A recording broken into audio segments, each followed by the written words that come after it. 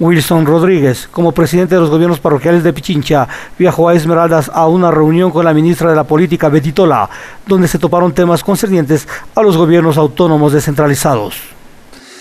Esta reunión se trató es para llegar a acuerdos, ya que la ministra de la Política es la representante de los GATT, donde que hubo prefectos, hubo alcaldes y hubo presidentes de los gobiernos parroquiales y también de las asociaciones de gobiernos parroquiales. En este caso de Pichincha fui como representante de la Asociación de Gobiernos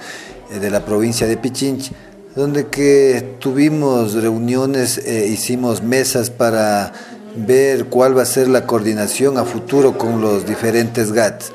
Más la ministra pidió que todos los GATS tienen que estar unificados, unidos, tienen que trabajar en concordancia ya que los consejos provinciales y los municipios y los gobiernos parroquiales eh, tenemos que tener la misma secuencia de obras. En este caso, si vamos a hacer un asfaltado,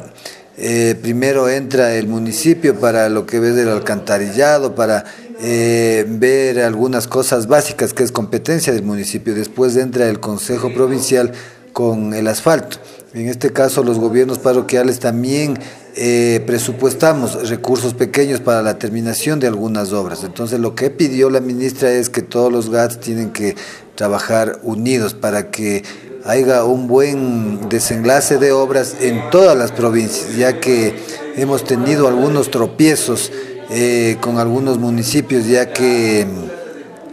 eh, no nos han tomado mucho en cuenta,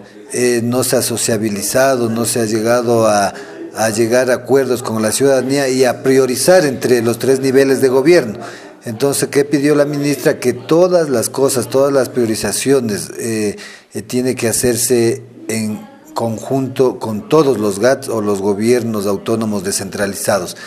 Entonces fue una reunión muy fructífera donde que la ministra prometió que igual va a haber eh, eh, más recursos para los gobiernos autónomos. Y nosotros como gobiernos parroquiales eh, tenemos la necesidad de más recursos, ya que la, los recursos son mínimos. Eh, en este caso también hay que agradecer al presidente Rafael Correa que ahora sí tenemos presupuesto, pero no es necesario. Queremos nosotros eh, del 6 al 12% que nos suban los presupuestos porque tenemos muchos proyectos y muchas necesidades. En este caso, la parroquia de Aloaga ahora ya tiene 12 mil habitantes y la planificación y la mantención de los bienes públicos es caro y lo que queremos es que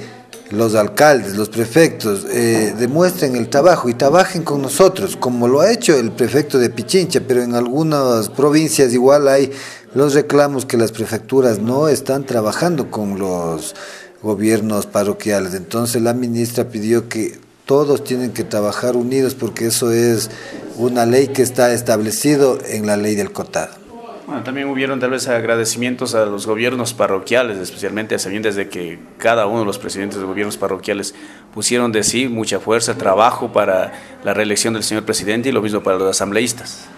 Correcto, la ministra, ella sabe y ella manifestó que los gobiernos parroquiales es eh, una fuerza política indestructible, digámoslo así, ya que la ruralidad es la que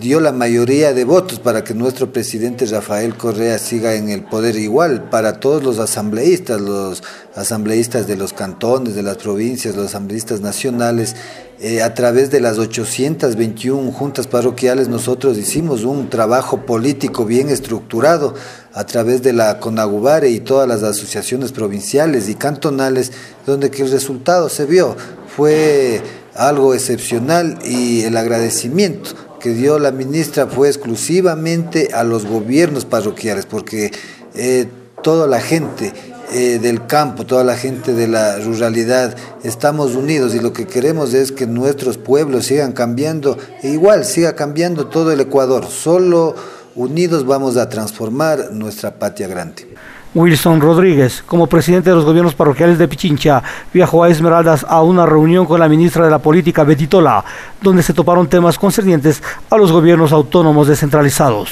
Esto es un dolor para Latinoamérica y para el mundo entero,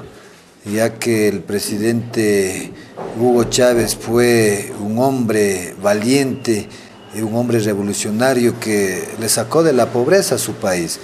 reconociendo también que hay muchas cosas que hacer, pero él fue el líder de Latinoamérica y lo que queremos es que tiene que ya estar listo el nuevo líder, como lo manifestó él, que tiene que ser el nuevo vicepresidente y lo que queremos es apoyarle igual a nuestra hermana, eh, a nuestro hermano país de Venezuela para darles todo el apoyo. Ahora Rafael Correa es el próximo líder, el que va a representar a Latinoamérica y en el mundo entero, ya que nuestro presidente igual tiene la misma fortaleza. Más eh, mi sentido pésame a toda la familia, a todo el gobierno venezolano y sepan que todos nosotros estamos con ellos. Eh, yo principalmente estuve en el mes de junio en Venezuela, en la que fue invitado por el presidente y vimos el cambio, la transformación de Venezuela, en especial de la ruralidad allá, los compañeros de los gobiernos parroquiales o de las comunas, como se llama allá, igual sintiéndoles muchísimo y vamos a trabajar unidos por el cambio y la transformación. Y nuevamente repito, mi sentido pésame que se fue un hombre grande y valioso, pero él ya dejó cimentado a sus grandes líderes, a, su ejército que tiene que seguir trabajando por esta revolución bolivariana.